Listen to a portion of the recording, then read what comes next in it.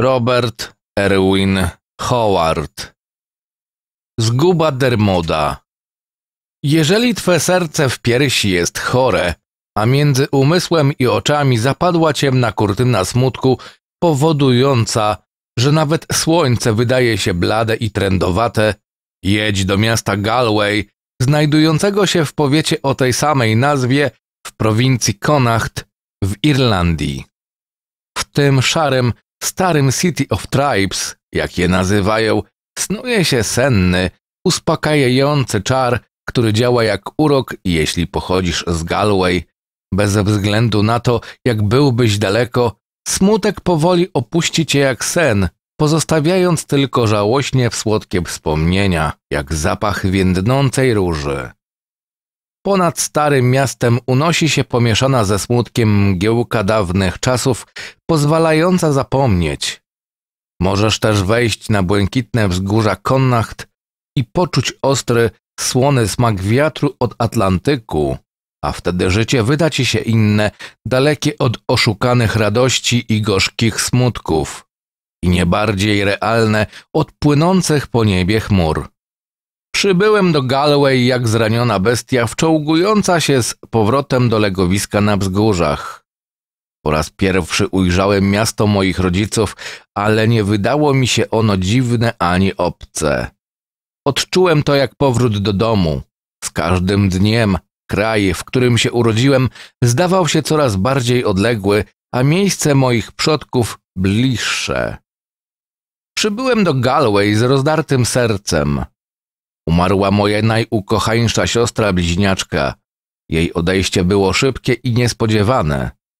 W przeszywającym bólu zdawało mi się, że jest jeszcze obok mnie, śmieje się tym swoim radosnym śmiechem, widocznym nawet w jej jasnych, irlandzkich oczach.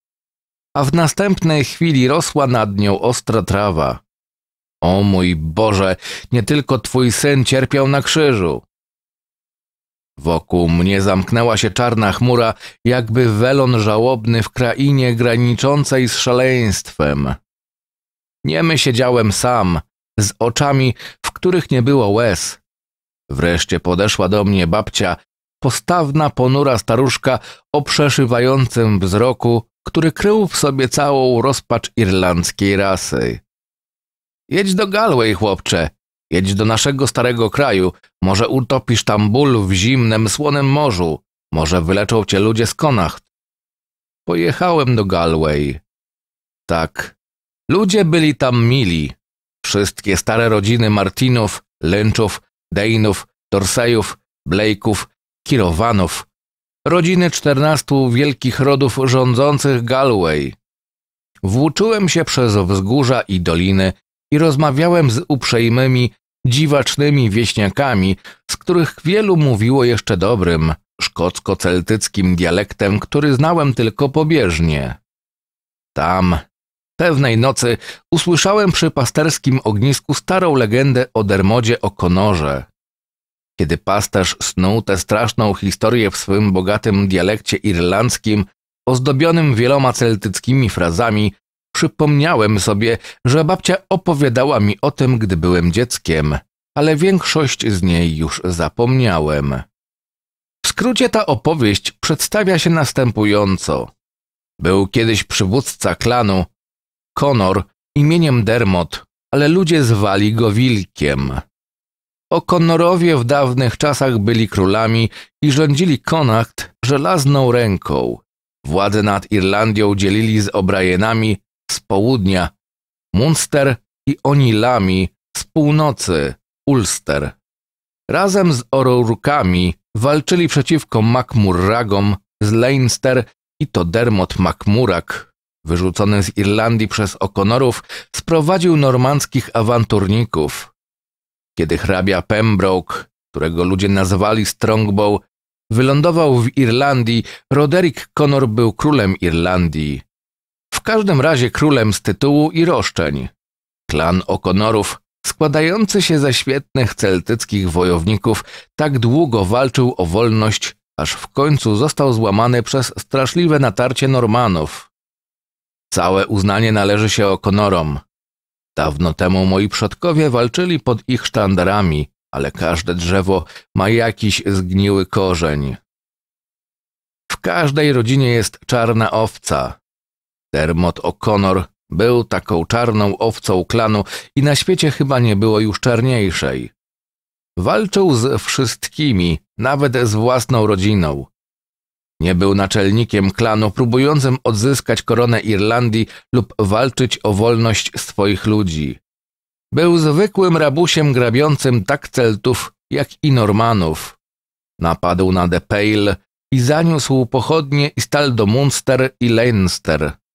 O'Brienowie i O'Karolowie mieli powód, aby go przeklinać, a Onilowie polowali na niego jak na wilka. Gdziekolwiek się pojawił, zostawiał za sobą ślad krwi i zniszczenia, aż wreszcie stałej bandy, która ciągle zmniejszała się na skutek dezercji i bitew, został sam, kryjąc się w jaskiniach i między wzgórzami, z rządzy krwi mordując samotnych wędrowców, schodząc do samotnych domów farmerskich lub pasterskich chat, aby tam czynić gwałty na ich kobietach. Był masywnie zbudowany, a legenda uczyniła z niego nieludzkie monstrum. Ale musiało być prawdą, że wyglądał niesamowicie i przerażająco. Jednak w końcu nadszedł i jego kres. Zamordował młodzieńca z klanu Kirowan i Kirowanowie opuścili Galway z chęcią zemsty w sercach. Sir Michael Kirowan spotkał go samego wśród wzgórz. Ten sam Sir Michael który był moim przodkiem w linii prostej i którego imię noszę. Tak długo walczyli samotnie, a świadkami tej strasznej walki były tylko falujące wzgórza, aż w końcu szczęk stali dobiegł uszu reszty członków klanu, którzy galopowali bez wytchnienia, penetrując okolice. Znaleźli ser Michaela z brzydką raną, a Dermoda O'Connora umierającego z rozciętym do kości ramieniem i przerażającą raną w piersiach lecz taka była ich furia i nienawiść, że zarzucili pętle na szyję umierającego bandyty i powiesili go na dużym drzewie rosnącym na skraju nadmorskiego urwiska. A teraz, mówił pasterz podsycający ogień, wieśniacy ciągle pokazują to drzewo, nazywając je zgubą Dermoda, powtarzając to za Duńczykami, i ludzie widzą po nocach tego złoczyńcę, słyszą, jak zgrzyta długimi kłami, krew leje mu się z ramienia i piersi i życzy wszystkiego złego kirowanom oraz wszystkim, którzy są z nimi spokrewnieni. I dlatego, panie, niech pan nie chodzi nocą nad urwisko, bo w panu płynie krew rodu, który on nienawidzi i nosi pan to samo nazwisko, co człowiek, który go powalił. Może się pan śmiać do woli, ale duch Dermoda Okonora Wilka z ogromną czarną brodą i kłami jak u dzika krąży tu w bezksiężycowe noce. Potem pokazali mi stojące tam od setek lat drzewo zwane zgubą Dermoda, które jakoś dziwnie przypominało szubienicę. W pobliżu nie było innych drzew, a urwisko wyrastało wprost z morza i wznosiło się na wysokość około 400 yardów. Poniżej w głębokim mroku widać było tylko ciemnoniebieskie fale bijące w okrutne skały. Często chodziłem nocą po wzgórzach, gdy gwiazdy zdawały się bliskie i ciepłe, ponieważ wtedy zapadała nad światem cisza, nie było słychać żadnych ludzkich głosów ani hałasów rozpraszających moje myśli, ale wtedy znów powracał smutek, który kładł się cieniem na moje serce. Wówczas Często mój pomieszany umysł zastanawiał się, na której gwieździe ona była, albo czy zmieniła się w którąś z tych gwiazd. Pewnej nocy wróciła dawna śmiertelna męka. Wstałem z łóżka. Wówczas zatrzymałem się w małej górskiej gospodzie, ubrałem się i wyszedłem na wzgórza.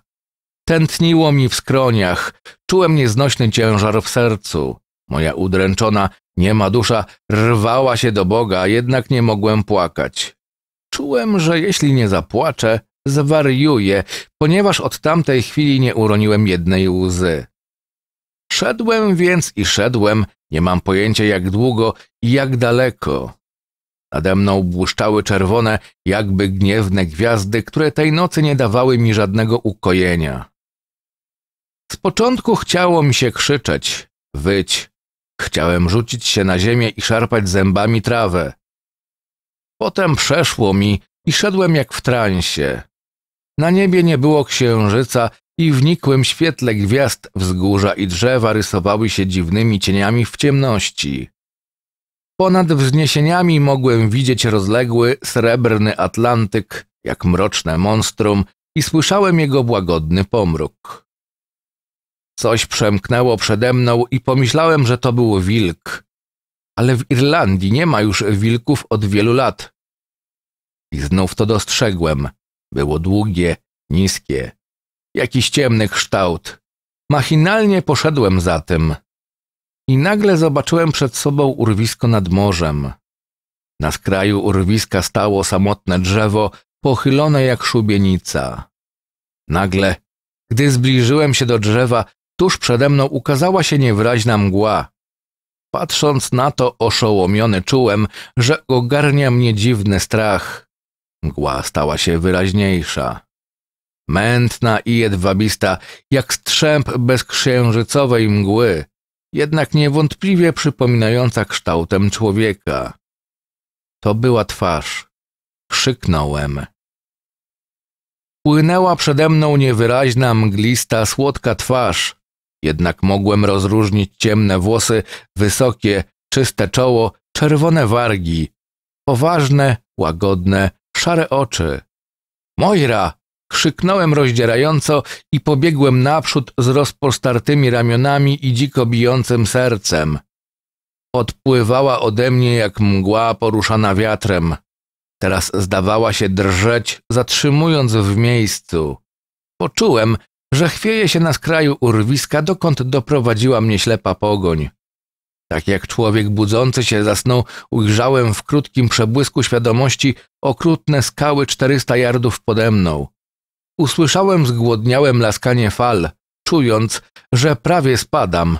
Znów ujrzałem wizję, ale tym razem powtórnie zmienioną. W skołtunionej czarnej brodzie upiornie błyszczały potężne kły. Pod groźnymi brwiami lśniły przerażające oczy. Krew lała się z rany na ramieniu i strasznego cięcia na szerokiej piersi. Dermot O'Connor!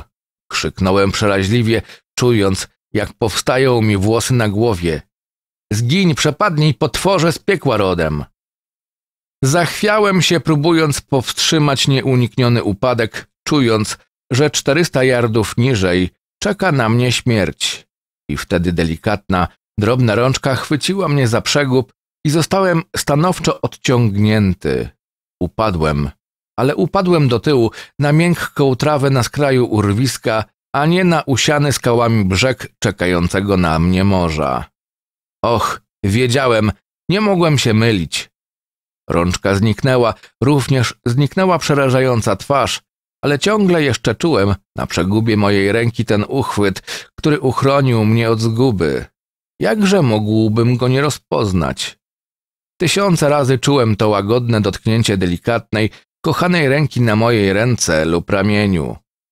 O Moira, Moira, puls mego życia, za życia i po śmierci, zawsze jesteś przy mnie. I leżąc tak po raz pierwszy zapłakałem, ukrywając twarz w dłoniach. Wylewałem z głębi serca żal w kojących łzach, aż w końcu ponad błękitnymi wzgórzami Galway wzeszło słońce i rozjaśniło gałęzie zguby Dermoda jakimś dziwnym, nowym blaskiem. Czyżbym śnił, a może oszalałem?